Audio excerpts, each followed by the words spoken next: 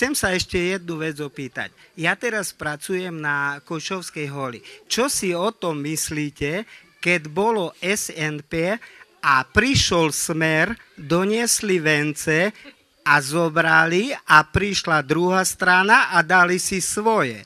Čo si myslíte o tom? Takto, ja som si myslel, že... Keď, Mám to prepáčte, nafotené.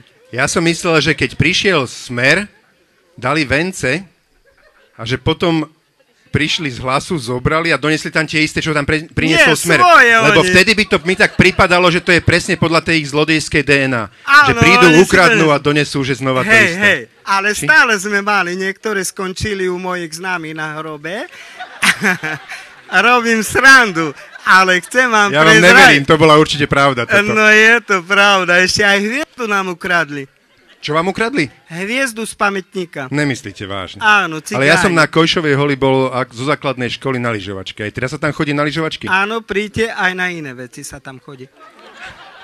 Takže vás pozývam, odozdávam.